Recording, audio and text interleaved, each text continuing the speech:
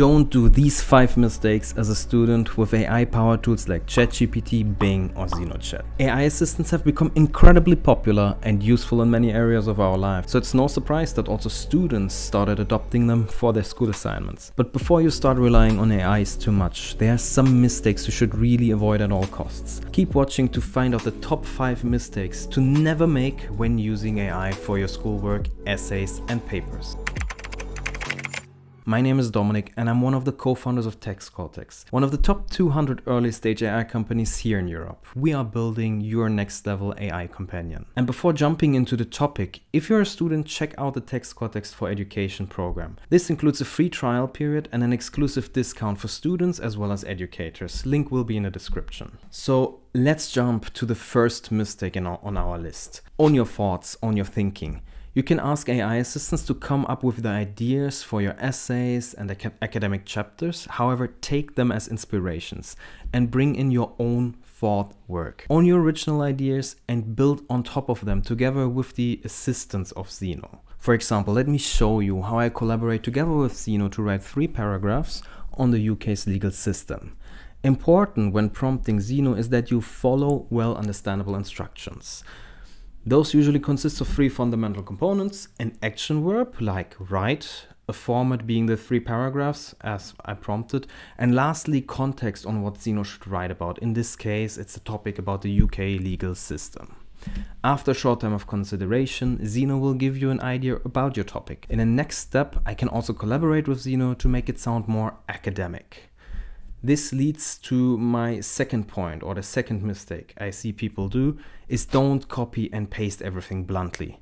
If you just copy and paste everything, it is not going to help you, neither the scientific community. Even though the content is not plagiarized, there are now AI content classifiers that can spot AI written text. And these AI detectors uh, can be as bad as doing plagiarism basically. Instead, make your own edits and use your own sentences to form the whole essay. Do not fully rely on AI generated content.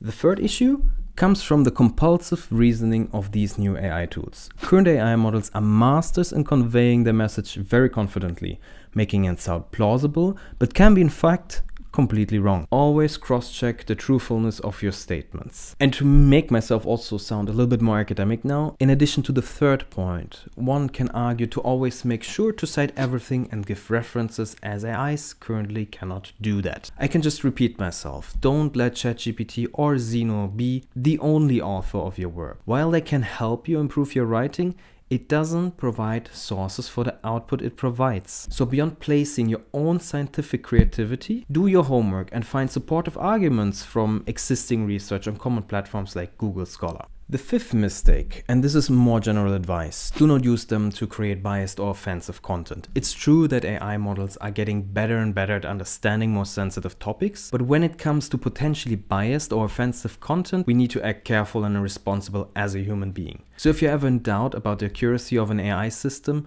on a controversial topic, play it safe and do your own research. So if you're ever in doubt about the accuracy of an AI system on a controversial topic, play it safe and do your own research. And this is it. These were my 5 advices or the 5 mistakes you should avoid as a student when dealing with tools like ChatGPT or ZenoChat.